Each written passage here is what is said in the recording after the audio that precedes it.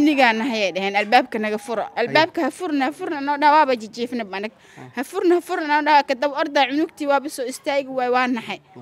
Fagaysiis cunugta waxay ogtaa male cunug yareede oo gabadhiya inta ka qabteen. Cunugta inay iga kufsadaan aaba ka cabsida marka dambe wixii aan hayn waa iska siini. Noo xaamilaa lay dhaafi waay qof yo maa la dhaafaa dhibaatada la ii geysta aniga waa laba qof ay igu garaaceen. Filtuur ay igu garaaceen waana fartaasaan ka dhaawacnahay iyo qoortaas iyo garbaha. Waa dhibanahay anaga dhibaa yaalla meeshaan. Wiilkayga soo ordi oo walaal oo soo ordi meeshaa la dhigay. Waa la jildili. Yaa gabar xaamil lugaha dhulka loogu garaacay. Meeshaan fadhiisaa la dhahay. Waxaa laga aruursan anaga waa dhibanahay dhibaa yaalla meeshaha noola soo dhib dhaamo. Gurigan aan ku suganahay wuxuu ku yaalaa waaxda saddexaad degmada kaxda ee gobolka banaadir. Gaar ahaan xaafadda lagu magacaabo xero mugdi waxay u dhexaysaa xerada xanaanada doorada iyo sidoo kale mashaahidka turkiga. Gurigan waxaa looga guurayaa sabab abni kadib markii la sheegay in kooxo hubaysan xalay ay soo galeen gurigan kadibna dadkii deganaa ay ka qaateen wixii moobeella ay haysteen ayna jir dileen dhallinyaro halkan ku sugnayd. Sidaad ka dhex arki kartaanba qolalka gurigan uu ka kooban yahay waa laba qol iyo barso iyo qol kale oo dhinacan ku yaalla. Waxaa laga saaray dhammaanba alaabihii ku jiray oo reerkii halkan deganaa u yiilay iyaga oo uga barakacay sabab la xiriirta dhinaca amniga maadaama guriga xalay inta loogu soo galay laga qaatay moobeeladii ay haysteen lana jir dilay waxaana la tilmaamay in arrintaasi ay geysteen. Ciidamo markaasi ku socda gaadiidka nooca loo yaqaano mootada. Waxaanu idinla wadaagi doonaa sheekada wixii halkan xalay ka dhacay oo ay inala wadaageen dadka halkan gurigan degan oo maantaba isla gurigan isla xilliga idinla hadlayo faarujiyey. Kooxaha burcadda markii ay ku fashilmeen in ay wax ku dhacaan waddooyinka waaweyn ee magaalada muqdisho ee kaamirooyinka lagu xiray waxa ay bilaabeen in ay soo galaan gudaha xaafadaha iyaga oo gelaya guryaha. Kadibna dhacaya qoysaska degan guryaha ku yaalla xaafadan aynu ku sugan nahay oo xalay ay ugu dambeysay dhibaato ay ka geysteen. Ruqiyo waa hooyo xaamilo ah. Waxa ay xalay la kulantay ayaa waxay uga waramaysaa warbaahinta shabeelle. Xali maray shan sac ee tahay aa noo soo weeraran kooxo burcad ee oo isku sheegayaan inay amni ay yihiin. Amnigu waa albaabka furo albaabkay nagu soo jibiyeen. Markaa soo wada baxnan jilbeey dhulka noo wada dhigeen jirdil inta noogu geysteen. Ani iyo labadeeda cunug iyo wiilkayga.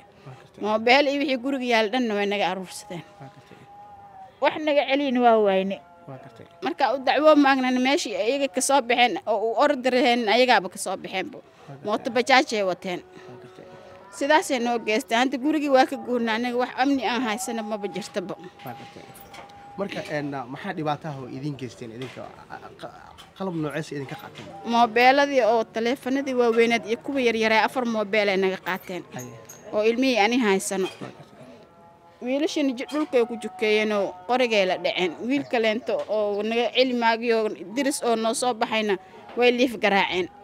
Xali ilaa toddoba sacoo dhiig baxay asna. Adiga hooyo xaamilaa tahay? Anoo xaamilay bartaan igu jukeeyeen iyagan ee jirdil noo geysteen xaamilnimada adaa lagu dhahahayna dheheen. Afar ninay ahaayeen dhar daliis oo ciidan ay wateen. Iyo kawii buudka ahay wejigan wuu u xirnaay. Waa marka hore markay albaabka soo gelayeen maxay idin dhaheen amnigaana hayay dhaheen albaabka naga furo albaabka ha furna ha furna noo dhaa waaba jijiifna banag ha furna ha furna noo dhaa kadab ordaa cunugtii waaba soo istaagi waay waa naxay fagaysiis cunugta waxay ogtaa male cunug yareede oo gabadhiya inta ka qabteen cunugta inay iga kufsadaan aaba ka cabsida marka dambe wixii aan hayn waa iska siini haye gabadhiya leeyihin nin maa ku qabanaaya maxay tahay gabartiya korkeeda ku ordaayaan waa gartay cabsiyaana qabata anigan maanta waaba ka guurooynaaba gurigii hay-adaha amniga iyo maamulka degmada mala xiriirteen mala xiriirin haye waayo qof oo waxaas isku tutoosan waa banaxsannahay ilaa haddaa banaxsannahayba cid idin timaada ma jirtaa qof noo imaati ma lahan haye waa gartay marka maxaa codsanaysaan oo dalbanaysaan waxaa codsanaynaa inay dowladda naga soo gaarto dhibkan iyo dhibaatadan meel noogu yeesho haye dilkeen hadda waa iska qabnaa noo xaamilaa lay dhaafi waay qof yo maa la dhaafaa waa gartay dhibkaasaana haasta ilaaha naga soo gaaro. Dowladdan waxaa ka codsanaynaa inay dhibkaas wax noogu sameeyaan. Ayna soo gargaaraan maatiyaan nahay dad masaakiinaa nahay. Ma fahanti? Haa maanta waa guurna alaabteen waa marka meeshii amni jiro ilaahay joogaa tegayna meel walba ilaahay woo joogaya laakiinse way kala amni badan tahay. Meeshaa meel la isku soo sheegayna khatimaano tookadana laba ee noo soo golooyo hadda qof walaal ah alaabteeda u geystayaa dul saaranahay meesha iskaga iimaansanayna. Saasaa jirta. isla xaafadda eh. haye waa gartay gurigaaga maxaa isaga nagaa weysa maadaama isla xaafadda le aad ku sugan tahay. Ee guriga cidlo ene cidlanahayay arkeen mahano haye. Sidaasaa wax u jiraan. Ninka aniga ilmaha aabbahoodana woo shaqeeya magaaladoo ka shaqeeya inuu moota habeen walba soo raacay iyo biilka iyo guriga iyo kiradii ma isku keeni karo. Dhibkaasaa jiro. Kooxaha burcadda markii halkan ay yimaadeen marka laga tago in ay ka qaateen halkan wax allaale wixii moobeele ee dadka halkan jooga ay haysteen. Jirdil ay u geysteen dhallinyaradii halkan ku sugnayd. Xasan waxa uu ka mid yahay dhallinyaradii jirdilka kala kulmay kooxahaasi burcadda. Dhibaatada la ii geysta aniga waa laba qof ay igu garaaceen filtuur ay igu garaaceen. Waana fartaasaan ka dhaawacnahay iyo qoortaas iyo garbaha. Waa kaya maxay kaa qaateen? Moobeelo. Laba moobeel aniga igaarkey Ah.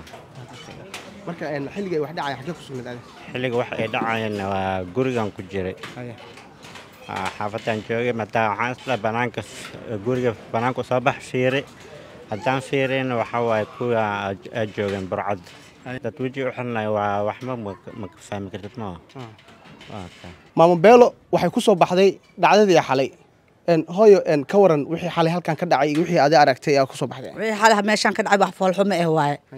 Dad masaakiin oo gurigooda iska joogaan intii loo abniga dhaho abniyaan ahay.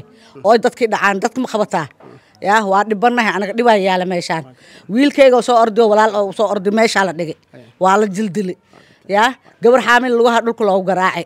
Meeshaan fadhiisaa la dhahay. Waxaa laga aruursan anaga waa dhibanahay dhibaa yaalla meeshaha noola soo dhib abniga waxa inoo noo qabtaan rabnaa dadaa dhar inay soo qaataan leeyihiin amniga anaga ku qaraabanahay. Hana laga qabto dadka. Hana laga soo gaaro xaafadaha kaamirada waa laga leexana xaafadaha masaakiinta lagu soo leexday markaan dhibaato weyn aan haysata anaga aragtay waxaan ku arkay aniga shan nin laba mooto fuusha iyo saddex guriga soo gashay ma fahantay gudubaha aan soo gudbayn waaba noo diideen guriga irdis ay nagu celiyeen irdiina soo xirtayna dhaheen haa intaasaa aragnay kadib markii aa inta soo gashay markaa inta soo argana wiilkan kanoo dhaawacaanba uga imaaday oo banaankan ay jiifo wiilka hadda soo qaata waa miir doorsame markaan gudihii soo gal gabadhii xaamida meehan ay fadhiso.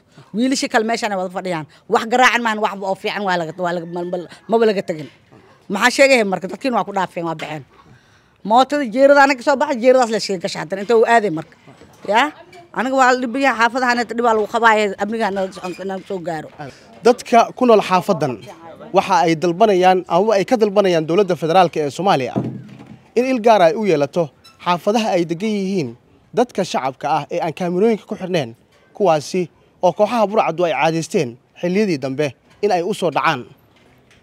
Zakariya axmed muuse t v-ga shabeelle muqdisho. Internet balas waa adeeg ay macaamiishu ka heli karaan internet fiber ah oo xawaarihiisu yahay labaatan megabytes per second ayna la socdaan rasiifar ay ku jiraan in ka badan afar kun oo kanaal iyo boqolaal daqiiqado oo ah ku hadal bilaash ah